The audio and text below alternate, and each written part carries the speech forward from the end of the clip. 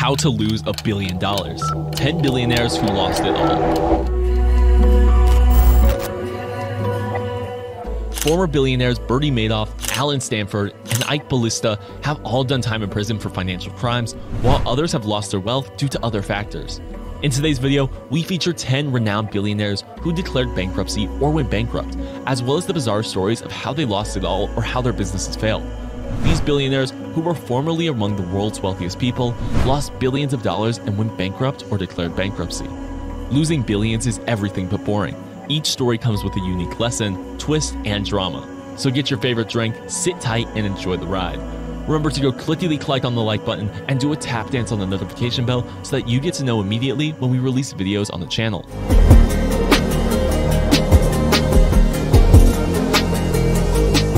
Multi million dollar yachts, mega mansions for homes, private jets, fleets of cars, and more. These men and women had it all and were worth billions.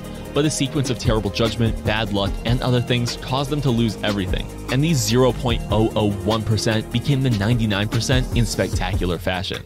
Some of the world's most famous millionaires have filed bankruptcy at some point in their careers, either personally or through their businesses. Other affluent billionaires have claimed to be bankrupt. Many circumstances contributed to these wealthy people losing everything, including economic downturns, poor investments, and big fraud cases that landed them in hot water, to name a few. Some of these billionaires have returned to fame and are now just as wealthy as they previously were.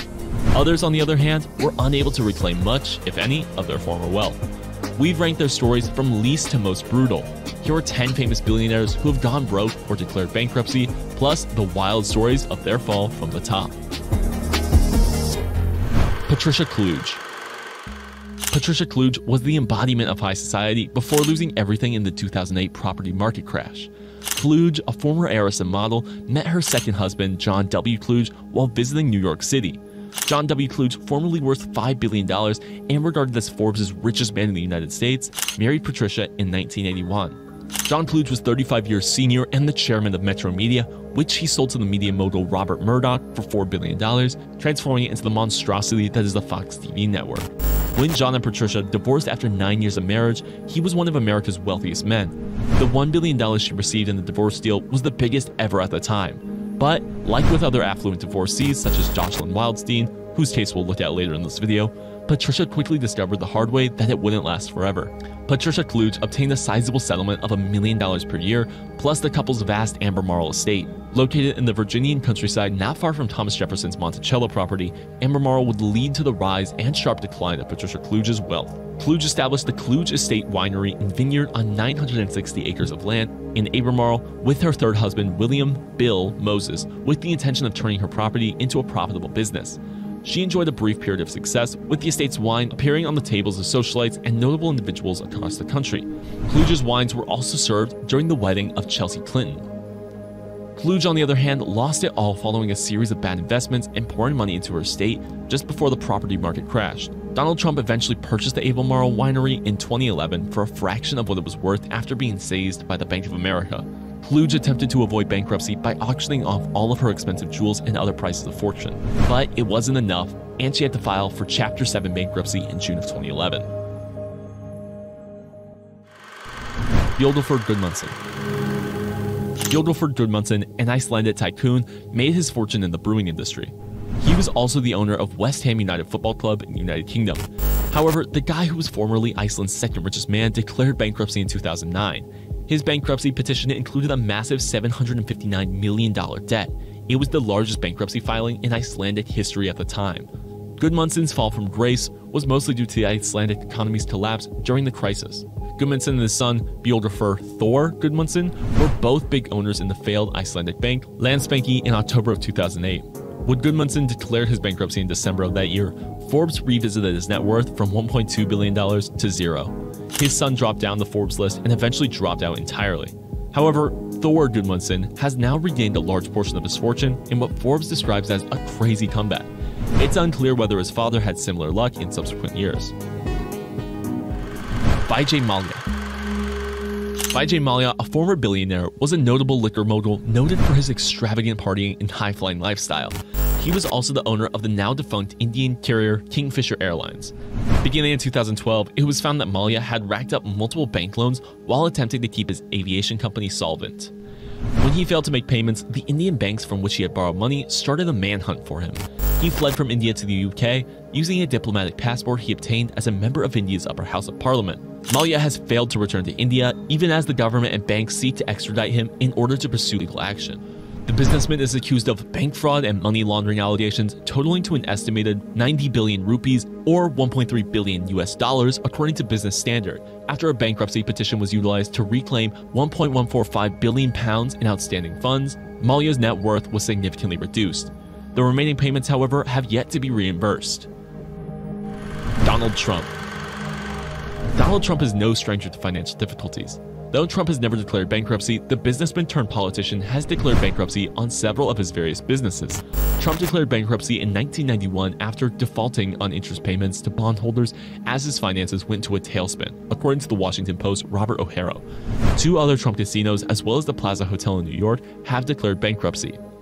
PolitiFact also identifies two previously undiscovered bankruptcies filed by Trump, one in 2004 for Trump Hotels and Casino Resorts, which is now $1.8 billion in debt, and another from 2009 for Trump Entertainment Resorts. Trump, on the other hand, does not appear to be troubled by his long history of bankruptcies. Trump was challenged during a Republican presidential debate in 2016 if he could be trusted to manage the country's businesses following his streak of bankruptcies. This was his response Quote, I have used the laws of this country just like the greatest people that you read about every day in my business have used the laws of this country. The chapter laws to do a great job for my company, for myself, for my employees, for my family, etc. Jocelyn Wildenstein. According to Money, Jocelyn Wildenstein is now worth substantially less than previously. In May of 2018, the former life of late millionaire art dealer Alec Wildenstein, a socialite, filed for federal Chapter 11 bankruptcy protection. According to the New York Post, she stated in the application that her monthly salary was $0 and that she survived on $900 in Social Security payments and help from friends and relatives. She claimed that a defective divorce settlement is to blame for many of her financial difficulties. Wildenstein told the New York Post that despite spending the majority of the $2.5 billion she earned during the divorce, she was promised considerably more. In the settlement, she received two paintings, one by Diego Velázquez, turned out to be counterfeit, and another by Paul Cézanne that sold for a fraction of its original value. The former billionaire told the New York Post in May of 2018 that she's looking for a top lawyer to acquire all she believes she is, quote, supposed to have for her lifetime. Sean Quinn Sean Quinn has achieved considerable success in his investments in industries such as plastic, glass, and hotels. He has also earned a 25% share in an Anglo Irish bank, which had to be bailed up by taxpayers during the 2008 financial crisis. The bank was taken over by the government, resulting in a series of legal issues between the Quinn family and the bank. Quinn, once considered Ireland's richest man, lost the most of his $2.8 billion fortune.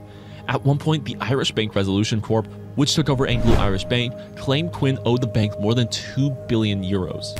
He was soon charged with contempt of court for seeking to conceal his property assets from the bank in order to avoid repaying his obligations. According to the Financial Times, Quinn declared bankruptcy in November of 2011 after claiming his assets were less than 50,000 pounds. In September of 2019, Kevin Lunney, a close colleague of Sean Quinn and a director of Quinn Industrial Holdings, was kidnapped and abused, demonstrating that there's still a lot of animosity towards Quinn and his company. Allen Stanford. Allen Stanford, the leader of the second largest investor fraud case in US history, is infamous for his unscrupulous business operations and for duping over 18,000 customers out of their money. Unlike Madoff's victims, many of Stanford's victims have yet to get restitution for the crimes committed against them. Stanford's misdeeds began following the failure of a Texas fitness club that he owned, and then he resorted to offshore banking and began executing his plan. Many of Stanford's victims, according to CNBC, were seniors who were promised secure investments, making this case of investor fraud even more heinous. On February 17, 2009, the Securities and Exchange Commission raided Stanford Financial Group's Houston headquarters and charged the billionaire and his accomplices with running, as CNBC puts it, a massive ongoing fraud. Stanford was accused of defrauding investors in order to fund his luxurious lifestyle, according to the probe. The Stanford fraud, the second largest Ponzi scheme in US history, resulted in $7 billion in losses for investors. Stanford was convicted on 13 felony counts in 2012 and is currently serving a 110 year term in a Florida high security prison, according to CNBC. However, the effects of his misdeeds continue to afflict his victims, who lost millions of dollars during the scheme's operation. His net worth has now been listed at $0. Elizabeth Holmes Elizabeth Holmes was once hailed as a rising star of Silicon Valley. Her blood testing firm, Theranos, grabbed notice as an interesting investment potential in the early 2000s. The startup promises to transform how individuals are tested and treated for numerous ailments and illnesses. By the end of 2004, the company had raised approximately $6 million from private investors, some of whom had personal ties to Holmes. However, as interest in Theranos grew, so did the questions about the company's processes and laws. After trying to persuade Lieutenant Colonel David Shoemaker to sign off on a military test run in 2012, Holmes expressed concerns with the Food and Drug Administration. The Centers for Medicare and Medicaid Services, CMS, then inspected the business. Quote, the device was still under development, they were told. Tensions were rising at Theranos, and despite one FDA approval, news outlets were questioning its legitimacy. Theranos had lost two key relationships with Safeway and Walgreens by November of 2015. CMS decided in 2016 that Theranos' tests could endanger patient safety, after many lawsuits, layoffs, and a federal charge that Holmes committed massive fraud, Theranos filed for bankruptcy in September of 2018. Holmes then relinquished management of Theranos and paid a $500,000 fine to settle SEC accusations. The Department of Justice went on to charge Holmes and her ex-partner, Sunny Balwani, with wire fraud. According to Forbes, Holmes' personal net worth is now $0. Eike Batista Eike Batista once appeared to be the world's richest man, those dreams were dashed, however, when his once thriving oil company, OGX, declared bankruptcy in 2013. According to the BBC, the self-made billionaire was widely recognized for his luxurious lifestyle and became an inspiration to younger Brazilian generations. Batista was projected to be worth $30 billion in 2012, ranking him the ninth in the world. However, as Batista's oil company failed to satisfy demands and Brazil's economy began to deteriorate, he was forced to declare bankruptcy in 2013. In January of 2017, as authorities began investigating Brazil's top corporations and why they had dropped so rapidly, they charged Batista with money laundering and corruption. He was convicted of 30 years in jail in July of 2018 for bribing former Rio de Janeiro governor Sergio Cabral. On May 24, 2020, it was announced that Batista had reached an agreement with Brazilian authorities that he would serve four years in prison and pay $160 million in restitution and cooperate with prosecutors. According to BN Americas, the deal must still be validated by a court and the fine money will be utilized to combat the coronavirus. Bernard Bernie Madoff Bernie Madoff is largely regarded as the mastermind behind the greatest Ponzi scheme in US history. Madoff, a financial industry expert, remained unnoticed for decades before his untimely demise in December of 2008. Prior to the controversy, he and his wife had estimated a personal net worth of $823 million to 826 million. Now, he's bankrupt and serving a life sentence. Madoff appeared trustworthy. He founded his Wall Street firm, Bernard L. Madoff Investment Securities, LLC, in 1960, and previously served as the chairman of the NASDAQ. His massive Ponzi scheme began to unravel after investors demanded $7 billion in payouts. According to a previous Business Insider report, Madoff had only 200 million to $300 million remaining to offer at the time. According to CNN Business, Madoff defrauded his list of investors out of a stunning $65 billion. At the height of the scheme, Madoff received about $20 billion from his different investors. The Department of Justice charged him with 11 counts of fraud, money laundering, perjury, and theft. Bernie Madoff was sentenced to 150 years in federal prison. In a plea bargain with prosecutors, Madoff agreed to give up most of his assets before going to prison.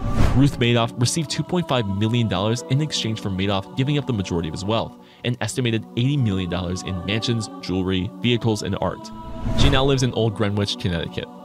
On April 14, 2021, Madoff died of natural causes at the age of 82 in Federal Medical Center Butner, a federal prison for inmates with special health needs near Butner, North Carolina. The cause of death was listed as hypertension, atherosclerotic cardiovascular disease, and chronic kidney disease. With another recession looming on the horizon, the fear of losing money is quite palpable. And billionaire or not, losing money can be a huge blow since money is the lifeblood of business and one tool that we use to create happiness. However, losing money is not the end of the world, as quite a few of these examples show us. As Bernard Meltzer puts it, quote, the real measure of your wealth is how much you'll be worth if you lost all your money. Beyond money, two common denominators among the billionaires that managed to get their fortune back are character and courage. As the poet Wolfgang von Goethe puts it, quote, money lost, something lost.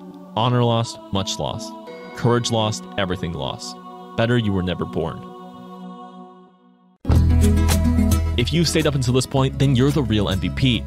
Go ahead and drop a quote in the comments that keeps you courageous in the face of challenges, and remember to subscribe to the channel for more content like this. Also, be sure to hit the notification bell if you haven't already so you can stay alerted whenever we upload a new video to the channel.